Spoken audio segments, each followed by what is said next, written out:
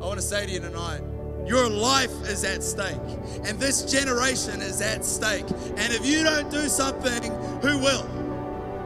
If not you, then who? I want to tell you something tonight.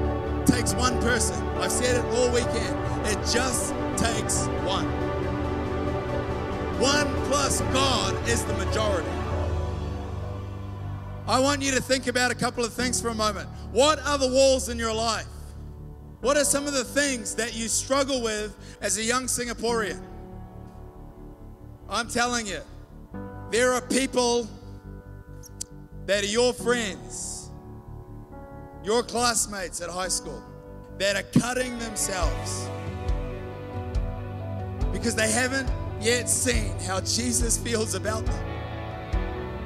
There are friends that you have that are throwing up in the toilet bowl because they think they have to look a certain way just to get approval.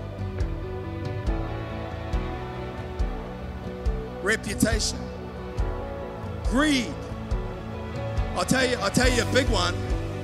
I'll tell you a really big one. Pride. I can't beat self-hatred and cutting. I can't beat depression. I can't beat my rejection. I can't beat the lies of the enemy by myself. I need God with me.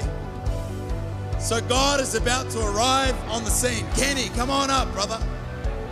If God is on your side, you are the majority. You are the majority, and you will break that wall down with God on your side.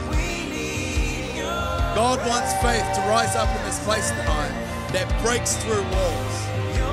God wants you to punch a hole through the default faith ceiling where you've come to the altar before and you've said, God, meet me. And then you walk away the same way. Tonight's different because God wants to release a faith that breaks down a wall once and for all.